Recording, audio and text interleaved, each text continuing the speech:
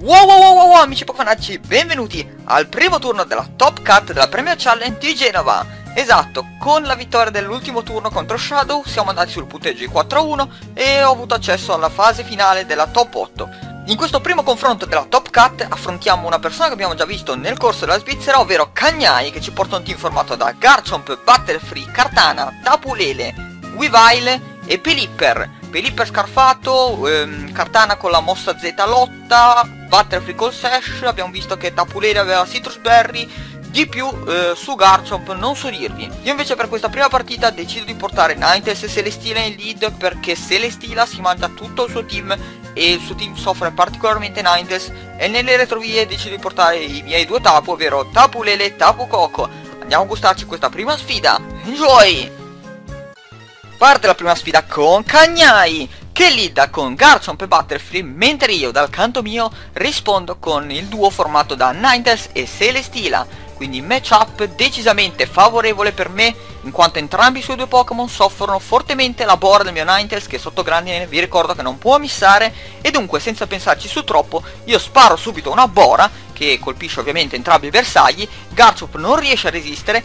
e Butterfree viene congelato quindi non sarà in grado di sparare vento in coda o sonnifero, infatti rimane fermo come un ghiacciolo e viene punito dalla mia Celestila che con un peso bomba lo manda KO e si prende anche un bel Beast Boost in Special Defense. Dunque primo turno importantissimo per me che mi sono preso fin da subito due kill e sono a PS pieni avendo, essendo riuscito anche a mantenere il focus di Ninetales quindi posso incassare un colpo e sferrare un'altra Bora se il mio avversario ha due Pokémon più lenti, scendere in campo gli ultimi due Pokémon di eh, Cagnai che sono Cartana e Tapulele. Tapulele e Cartana sappiamo non essere scarfati quindi sono abbastanza tranquillo, infatti Tapulele dell'avversario protegge per proteggersi da una peso bomba immagino, sparo un'altra Bora in tutta tranquillità colpisco Cartana che non è assault west quindi morirà o rimarrà con pochi PS in questo caso muore brutalmente e Celestila fa un peso bomba sulla protezione. Quindi andiamo sul 3 anzi 4 contro 1 e qui il mio avversario penso che sia costretto al ritiro. Andiamo un po' a scoprire se si ritira o meno. Infatti non può niente di fronte a Celestila bustato e infatti quitta Primo incontro lampo che veramente si è svolto in un battibaleno nel giro di due turni, credo. Ho avuto fortuna fin da subito con quel freeze su Butterfree, che però, diciamocelo, non si è rivelato fondamentale per l'esito finale della partita in quanto non avrebbe potuto fronteggiare col resto del team che aveva dietro Celestila boostata. E dunque, speriamo che il proseguimento del match ci riservi maggiori sorprese e andiamo a vederci il secondo preview. Come possiamo notare al team preview, gli schieramenti sono gli stessi per entrambi, cambiano solo le lead, infatti io lead con Ninetales e Tapulele, portando Celestila nelle retrovie a effettuare magari uno switch in gratuito, mentre Cagnai lead con Butterfree e Cartana. Dunque andiamo a gustarci questa seconda partita e vediamo se sarà decisiva o meno. Per questa seconda sfida ci daremo battaglia nella spiaggia. Cagnai lead con Butterfree e Cartana, mentre io contro lead con Ninetales e Tapulele quindi si attivano scendineve e successivamente il campo psichico di Tapulele. Io qui posso sparare nuovamente Bora perché Butterfree abbiamo visto che la regge male, Cartana comunque può morire, ma decido di ritirare Tapulele in favore di Tapu Koko per attivare il campo elettrico e bloccare eventuali sonniferi da parte di Butterfree. Quindi tarpo subito le ali, protezione da parte di Cartana, io attacco con una Bora che andrà a centrare il Butterfree in quanto Cartana sia appena protetto, non lo mando giù, non lo congelo stavolta, Butterfree invece risponde con un vento in coda che velocizza il suo team per i prossimi 3 turni a venire. Dunque qui Butterfree non se la passa tanto bene perché abbia settato sì il vento in coda ma non può addormentare più il campo elettrico, viene ritirato giustamente da Cagnai che fa scendere in campo Garchomp. Io però ritiro Ninetales per paura di un double target di Cartana più Butterfree che mi avrebbero mandato giù eh, dopo la rottura al Focus Sash. Infatti Cardana colpisce con sotto il corno lo slot del subentrato Celestila e un fulmine potentissimo va a mettere KO Cartana. Dunque vi prendo già una kill al turno 2. Garchomp eh, si piglia il danno alla grandine come anche Tapu Koko e Celestila. E vediamo chi fa scendere in campo a questo punto il buon Cagnai.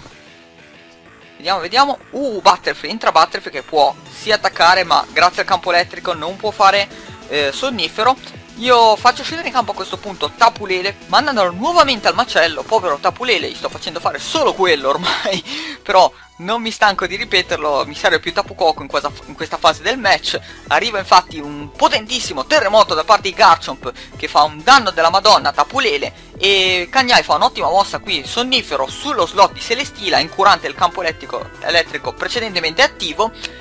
e infatti Celestila è tipo volante quindi è immune agli effetti del campo e può prendersi il sonnifero in faccia la grandine continua a fare chip damage su tutti i Pokémon sul terreno di gioco.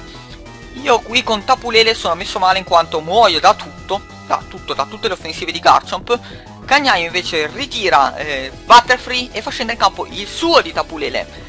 io decido di proteggere per stallare un po' di turni di vento in coda, infatti mi salvo da questa puntura di Garchomp, Celestia si sveglia al secondo turno di sonno, spara un peso bomba potentissimo sullo slot dell'appena subentrato Tapulele e lo fa esplodere in mille pezzi prendendosi un base boost in special defense. Dunque qui mi ritrovo nuovamente 4 contro 2 con Butterfield mezzo morto e la Grandi che continua a fare chip damage che sono molto importanti per il mio team. Eh, avanzi un po' di recovery. Nel mentre finisce anche il vento in coda per il mio avversario, fa scendere in campo Butterfree. E con uh, Garchomp fa velo in puntura, giustamente per togliersi di mezzo Tapulele per impedirmi di, impedirgli di settare il Tailwind, cosa che Butterfree fa incurante di ciò, però Celestila non sta lì a pettinare le bambole, infatti fa un parassiseme sullo slot di Garchomp che mi dà ancora più recovery rispetto a quella degli avanzi e piano piano lo manderò giù col parassiseme e lo porterò in range di un eventuale peso bomba. A questo punto rimaniamo in 3 contro 2 a mio favore, faccio scendere in campo il mio terzo Pokémon, ovvero Ninetales, che risetta nuovamente la Hale, che danneggia sia Butterfree che eh, penso che con due turni di Hale muore,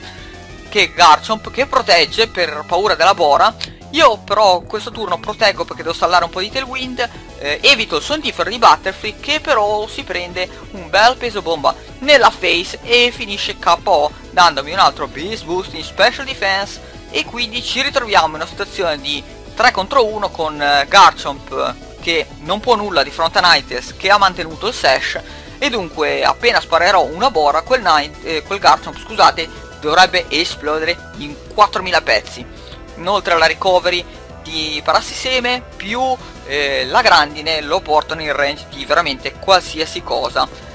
Frana da parte di Garchomp che approfitta del vento in coda, colpisce Ninetales, se non mi flincia ho vinto la partita, per fortuna mia non flincio con quel 30%, evito l'attacco con Celestila e Bora chiude i conti in questa seconda sfida consegnandomi la vittoria per 3-0. Un'altra vittoria facile firmata dal duo Ninetales e Celestila che avevano un matchup favorevolissimo contro il team dell'avversario che soffriva particolarmente queste due minacce. Questa vittoria mi proietta nella semifinale del torneo nella quale affronterò un giocatore che abbiamo già visto precedentemente nei round di Swiss e quindi avremo un bel rematch. Ringrazio Cagnai per la sfida e come di consuetudine se il video è piaciuto vi invito a lasciare un bel commentino, un bel mi piace, seguirmi sulle pagine social di cui trovate i link come sempre in descrizione e ci vediamo domani con la semifinale del torneo. Ciao!